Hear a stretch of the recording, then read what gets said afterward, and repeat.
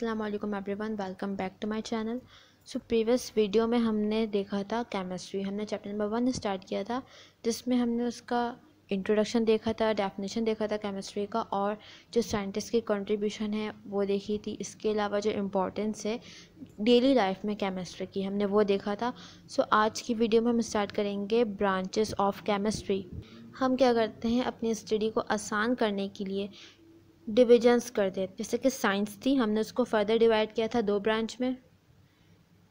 इसी तरह से केमिस्ट्री केमिस्ट्री को हमने फर्दर बहुत सी ब्रांचेस में डिवाइड किया हुआ है ताकि हम इजीली केमिस्ट्री को स्टडी कर सकें। तो हम वन बाय वन तमाम ब्रांचेस को देखेंगे। So due to its wide scope chemistry को हमने कुछ मेन ब्रांचेस में डिवाइड किया हुआ है, जिसमें फ़र्स्ट ब्रांच है physical chemistry Physical chemistry kya hai? It is a branch of chemistry which deals with relationship between composition or physical property of matter.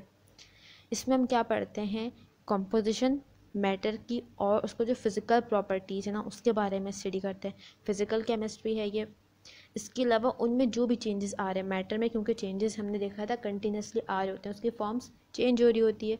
तो उन तमाम चेंजेस को स्टडी करना मैटर के कंपोजिशन के बारे में पढ़ना, उसकी फ़िज़िकल प्रॉपर्टी के बारे में पढ़ना। इसके अलावा it deals with the laws and principles governing the combination of atom and molecule in chemical reaction अब केमिकल रिएक्शन हो रहा था, हमने प्रीवियस वीडियो में भी देखा, इस वीडियो में भी देखते हैं। फॉर एग्ज़ाम्पल कार्बन है ऑक्सीजन है कार्बन डाइऑक्साइड बना। ये क्या एक केमिकल रिएक्शन किस लॉ के तहत, किस प्रिंसिपल के तहत ये केमिकल रिएक्शन हो रहा है, उसको स्टडी करना। किस ब्रांच में हम करेंगे? फ़िज़िकल केमिस्ट्री में। कौन से लॉज होते हैं वो? फॉर एग्ज़ाम्पल हमने मास के बारे में देखा कि मास कभी भी डिस्ट्रॉय नहीं होगा, बल्कि अपनी फॉर्म चेंज करेगा। तो ये एक लॉ है मास कंजर्वेशन ऑफ़ मास इसके अलावा इसी तरह से वॉल्यूम की लॉ है अलग। इस तरह से डिफरेंट लॉज हैं। तो उनके बारे में पढ़ना, जिनके तहत केमिकल रिएक्शंस हो रहे हैं। सो फ़िज़िकल केमिस्ट्री को थोड़ा सा और समझते हैं हम। बेसिकली जो फ़िज़िकल केमिस्ट्री है, यहाँ पर हम इंट्रैक्शन और ट्रांसफॉर्मेशन पढ़ते हैं मैटर की, कि जैसे हमने देखा था मैटर एक फॉर्म से दूसरे फॉर्म में ट्रांसफ़र हो जाता है। तो उसके बारे में स्टडी करते हैं। बेसिकली यहाँ पर हम जो फिज़िक्स के लॉस है, उसको अप्लाई करते हैं केमिकल रिएक्शंस पर। या जो केमिकल प्रोसेस है, उन पर। इसमें हम क्या देख सकते हैं? फॉर एग्ज़ाम्पल हमारे पास अगर ये एक रिएक्शन है। कार्बन हाइड्रोजन इन्होंने मिलकर बना लिया है सी एच फोर इसे हम क्या कहते हैं? मीथेन ये हो गया बैलेंस अब हमें इस रिएक्शन से क्या पता चल रहा है कि एक मॉलिक्यूल कार्बन का और दो मॉलिक्यूल्स हाइड्रोजन के, ये मिलके बनाएँगे एक मॉलिक्यूल मीथेन का। तो बेसिकली हम यहाँ पे कुछ मैथमेटिक्स भी अप्लाई करते हैं। हम इसमें कैलकुलेशन करते हैं कि जब दो हाइड्रोजन के मॉलिक्यूल्स मिलकर एक मॉलिक्यूल बना रहे हैं मीथेन का तो फिर फोर मॉलिक्यूल्स कितना बनाएँगे सिक्स मॉलिक्यूल्स कितना मीथेन बनाएँगे? तो इस तरह की कुछ सिंपल कैलकुलेशंस होती हैं। इसके अलावा हम जो रिएक्शन है ना, उसको देख सकते हैं कि भाई हम क्या कर सकते हैं ऐसा कि हमें प्रोडक्ट ज़्यादा मिले। हम क्या कर सकते हैं कि हम दोबारा से इस प्रोडक्ट को रिएक्टेंट में कन्वर्ट कर दें। हम अगर टेम्परेचर बढ़ा देंगे यहाँ पर इस रिएक्शन के लिए तो क्या होगा? हम अगर यहाँ पे टेम्परेचर कम कर देंगे तो क्या होगा? तो बेसिकली ये जो तमाम फ़िज़िकल के जो लॉज हैं, उनको हम अप्लाई करते हैं केमिकल रिएक्शन और जो केमिकल प्रोसेस है उस पर।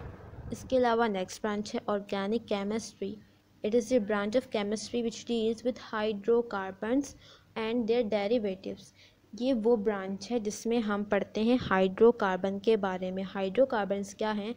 हाइड्रोजन और इसके साथ जो कार्बन अटैच है, ये है हाइड्रोकार्बन। जिस कंपाउंड में ये होगा, उसकी स्टडी ऑर्गेनिक केमिस्ट्री और उनके डेरिवेटिव्स बेसिकली मतलब कि इसके तो और एटम्स भी ऐड हो सकते हैं, लेकिन ये चीज़ इसमें बेसिक है। हाइड्रोजन और कार्बन का बॉन्ड होना, ये क्या होगा? हाइड्रोकार्बन हाइड्रोकार्बन में हमेशा हाइड्रोजन और कार्बन का बॉन्ड होगा। कार्बन हमेशा लिंक होगा हाइड्रोजन से।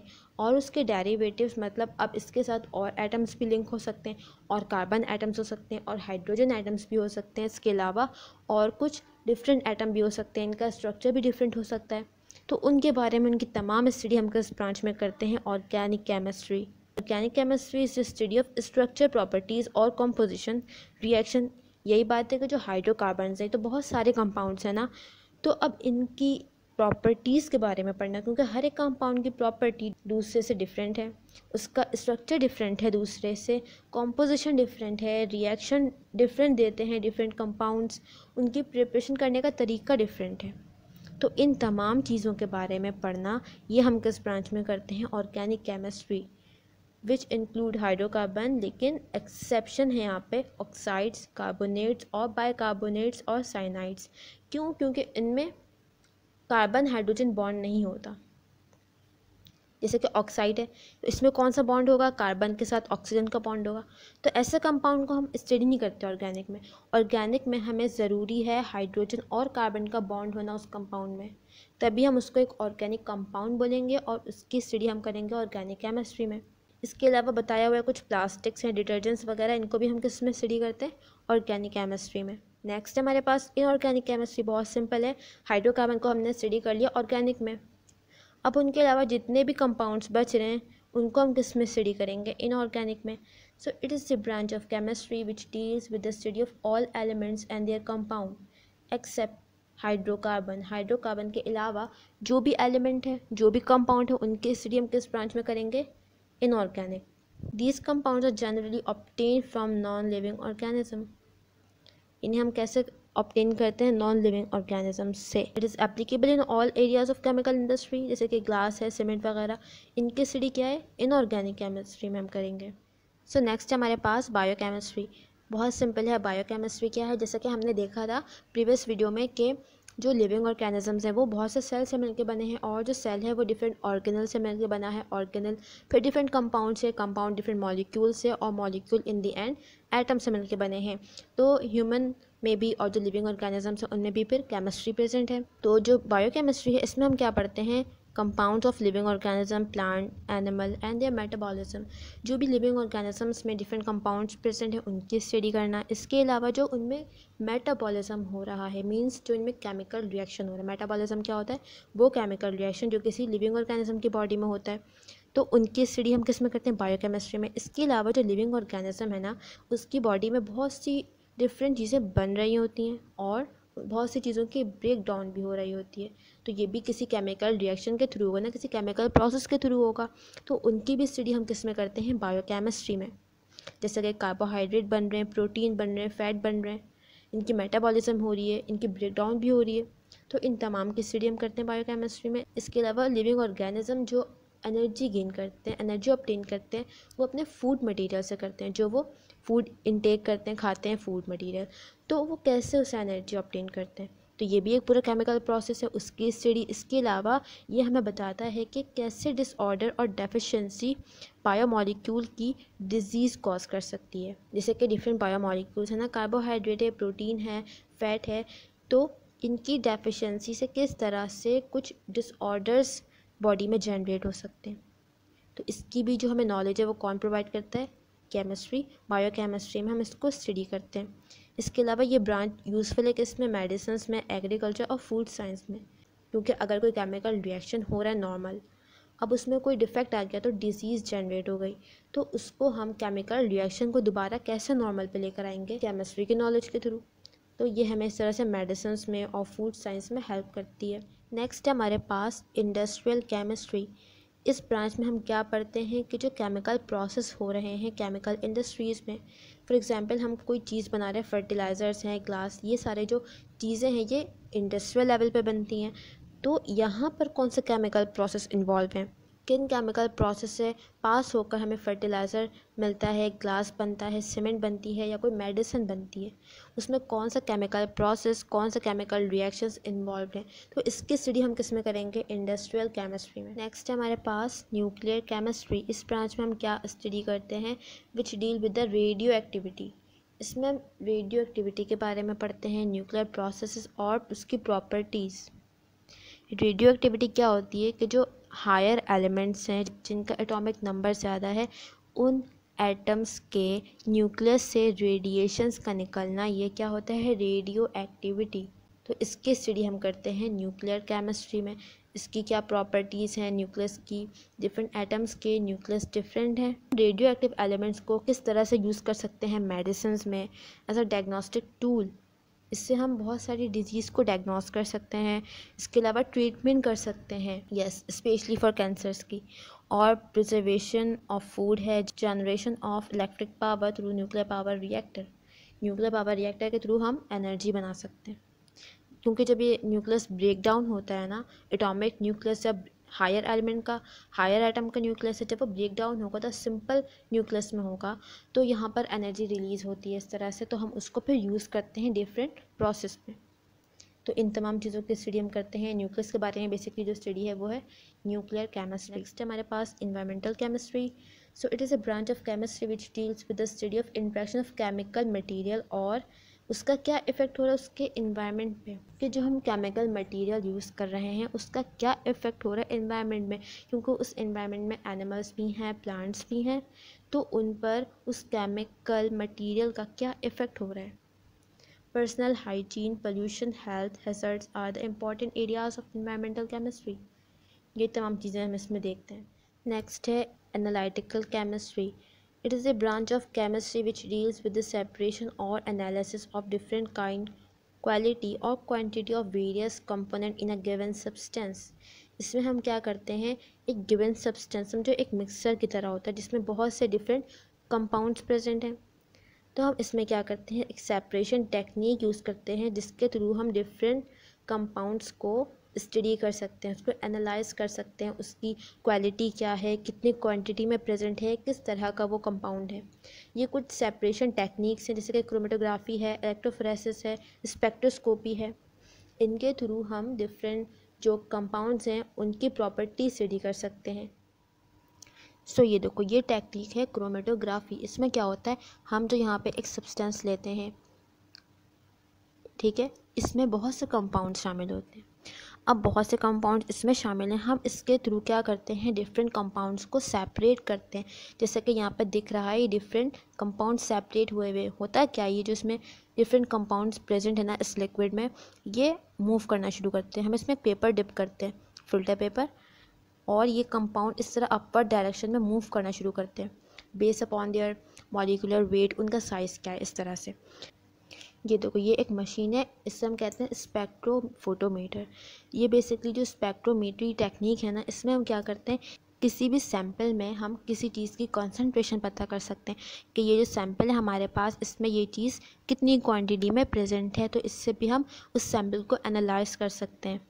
ये टेक्निक है इलेक्ट्रोफ्रेसिस इसमें हम क्या करते हैं, इसी तरह से एक सैंपल लेते हैं और इसको हम कनेक्ट करते हैं, ये जो पावर सप्लाई है बैटरी से, इस तरह से। करंट के थ्रू ये जो सब्सटेंस हमारे पास डिफरेंट सब्सटेंसेस ये सेपरेट होता है। जैसे कि यहाँ पर दिख रहा है, कुछ सब्सटेंस हमें यहाँ मिले, कुछ कंपाउंड हमें यहाँ मिले, कुछ इस तरह से डिफरेंट जगहों पर हमें मिलते हैं। किस बेस पर मिलते हैं, उनमें कैसा चार्ज प्रेजेंट है, इस बेस पर। सो नेक्स्ट है हमारे पास medicinal chemistry so it is a branch of chemistry which deals with the synthetic organic chemistry pharmacology and various biological specialities नाम से पता चल रहा है, इसमें हम क्या पढ़ेंगे? मेडिसिन के बारे में। फार्माकोलॉजी ये क्या होती है? मेडिसिन की स्टडी। क्योंकि जो केमिकल रिएक्शंस बॉडी में हो रहे हैं नॉर्मली होता क्या एक नॉर्मल उनका पाथवे है, उसके थ्रू वो एक रिएक्टेंट प्रोडक्ट में कन्वर्ट होता है। लेकिन अगर यहाँ पर इस पाथवे में कोई डिफेक्ट आ गया तो जो प्रोडक्ट है वो नहीं बन सकता। नॉर्मल रिएक्शन नहीं हो रहा। तो हम क्या करते हैं, कुछ मेडिसिन देते हैं, वो भी किससे बनी होती है, कुछ केमिकल से। ऐसे केमिकल जो वहाँ जाकर एक्ट करेंगे रिएक्टेंट पर और वो उसको प्रोडक्ट में कन्वर्ट करेंगे। तो ये तमाम नॉलेज मेडिसिन के बारे में भी हमें कौन प्रोवाइड करेगा? केमिस्ट्री केमिस्ट्री की नॉलेज के थ्रू ही हम मेडिसिन बना सकते हैं कि अगर कोई मेडिसिन है तो इसमें कौन सा केमिकल कौन सा कंपाउंड कितनी क्वान्टिटी में होना चाहिए।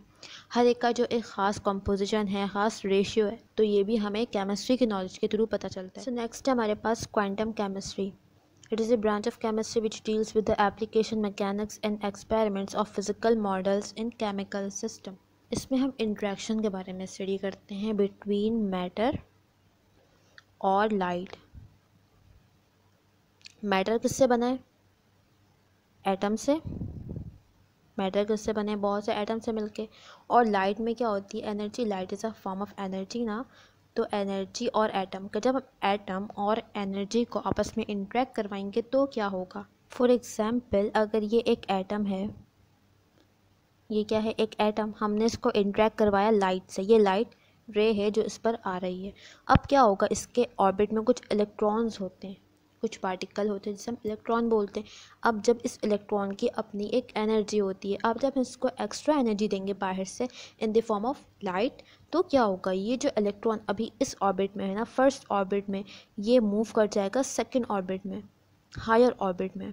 इसको हम कहेंगे ग्राउंड स्टेट जब ये अपने नॉर्मल हालत पर है, जब ये इलेक्ट्रॉन हायर लेवल पे मूव कर गया तो ये स्टेट होगी एक्साइटेड स्टेट बेसिकली हम इसमें यही पढ़ते हैं कि किस तरह केमिकल रिएक्शन में हम इस चीज़ को यूज़ करते हैं। नेक्स्ट हमारे पास ग्रीन केमिस्ट्री क्योंकि केमिस्ट्री की वजह से जो डिफरेंट केमिकल कंपाउंड्स हैं, उनकी वजह से जो इन्वायरमेंट है, उसे काफ़ी नुकसान हो रहा है। तो it is a branch of chemistry which deal with the study of process and designing product which are compose of less hazardous substances ऐसे केमिकल्स को, ऐसे इन चीज़ों को डिज़ाइन करना जो कि हमारे इन्वायरमेंट के लिए कम डेंजरस हैं। इसको हम सस्टेनेबल केमिस्ट्री भी कहेंगे। सेफ़ केमिकल्स जैसे कि पॉलीफिनाइल सल्फोन इसके अलावा लेस हजार्डस केमिकल्स हैं। Polycarbons and safer solvents. ये एग्जांपल्स हैं ग्रीन केमिस्ट्री की। ये सारे वो कंपाउंड्स हैं जो कि हमारे इन्वायरमेंट के लिए कम हजार्डस हैं। So the main purpose of this branch is to use waste material efficiently जो वेस्ट मटीरियल है, जितने भी केमिकल्स हैं, जो वेस्ट हैं, हम उनको किस तरह से दोबारा यूज़ कर सकते हैं ताकि जो इस केमिकल की वजह से नुकसान हो रहा है, हमारे इन्वायरमेंट को उससे बचा जा सके और लिविंग ऑर्गेनिजम्स को भी नुकसान हो रहा है। तो इससे बचाना अपने इन्वायरमेंट को।